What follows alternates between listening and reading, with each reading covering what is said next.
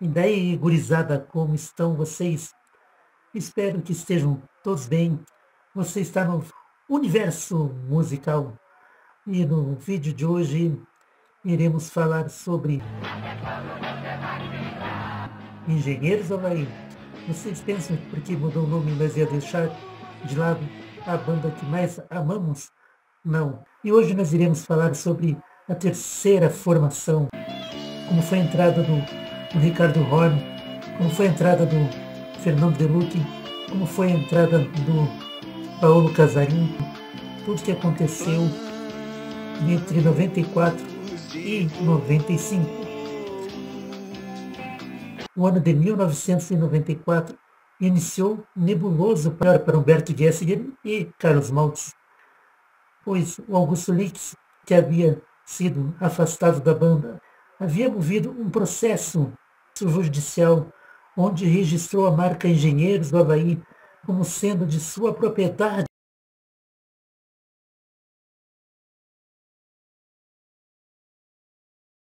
Né, como eu falei antes da saída do Augusto Lix, que não foi uma saída tranquila, teve aí um estardalhaço né, nos jornais e tal. E ele, inclusive, tentou registrar o nome da banda. Como é que foi essa história, Gessinger? Essa banda é engraçada, né? Porque a gente já tinha até disco de ouro antes dele entrar pra banda e tal. Mas antes o Augustinho estava sendo. querendo tirar proveito, alguma coisa assim, ou montar até mesmo uma banda usando o nome Engenheiros Havaí. Mas sim, ele queria ter a garantia, queria receber pelos sete anos prestados de serviços à banda. O processo se estendeu até agosto de 1997 ganhou o processo, recebeu uma quantia X do Humberto e do Carlos Maltz. Em fevereiro entrou um novo guitarrista do Ricardo Horn. Segundo o livro do Alexandre Lucchesi, Infinita Highway, uma carona com os engenheiros do Havaí, a entrada de Ricardo Horn foi justificada na imprensa pela antiga amizade entre os dois músicos Palavras como identificação pessoal não eram escondidas dos repórteres. Então a gente vê aqui que o lance de entrada do Ricardo Horn foi um lance mais de identificação, amizade, e eles deixaram de lado, como a gente viu ali, o lance musical, né? Faz parte do Colégio Anchieta. Grande, né? Não, nem tanto assim. Perto de uma amizade que nasceu aqui há mais de 10 anos.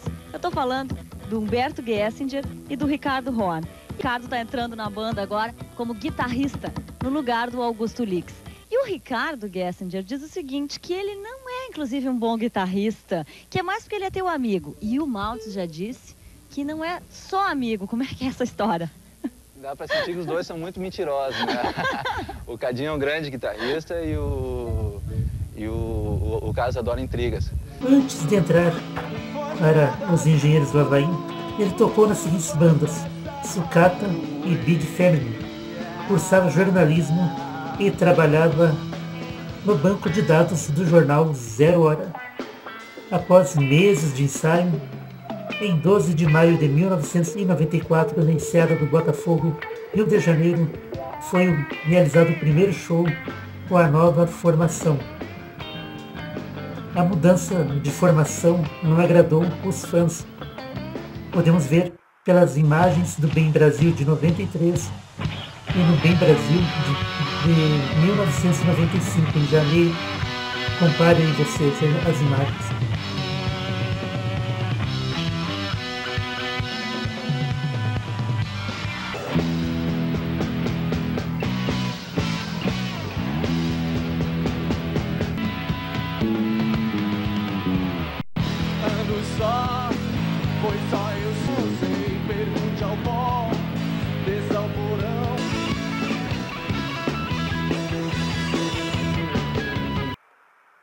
Então, como vocês puderam ver, a troca não agradou os fãs e também não agradou a empresa, que era responsável pela banda. A empresa exigiu mudanças.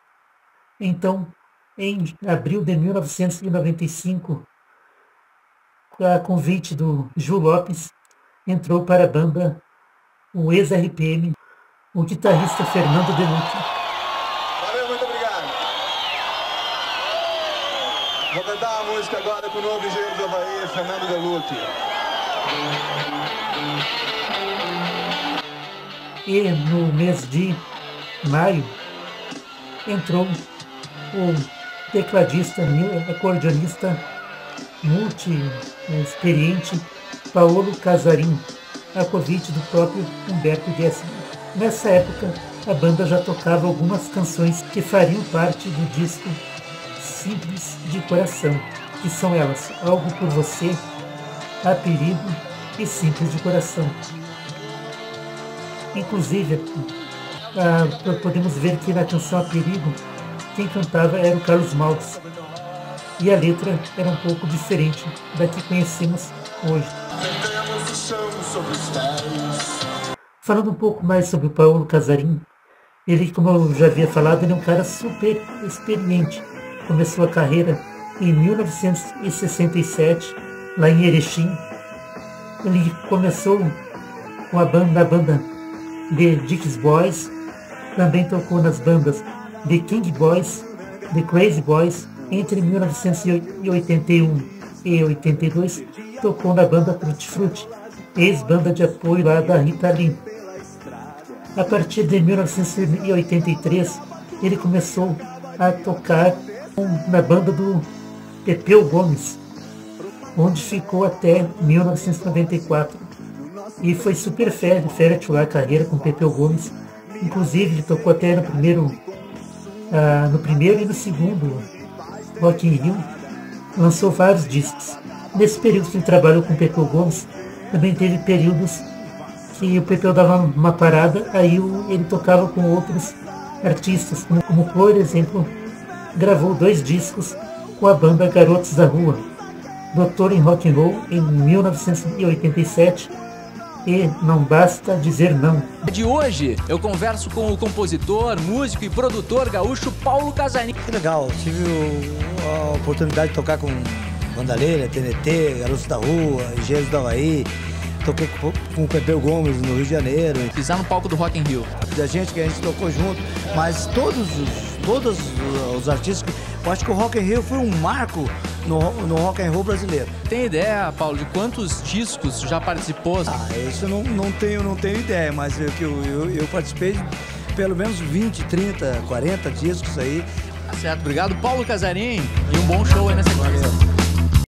Em 1993, além de, gra de gravar juntamente com Pepeu Gomes, também lançou seu único disco.